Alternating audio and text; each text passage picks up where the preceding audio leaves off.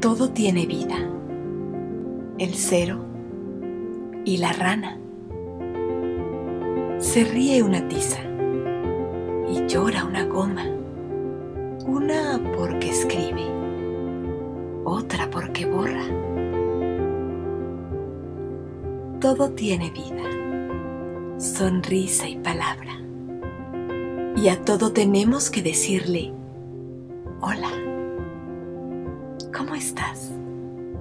¿Qué tal? Que duermas muy bien. ¡Hala! Hasta mañana.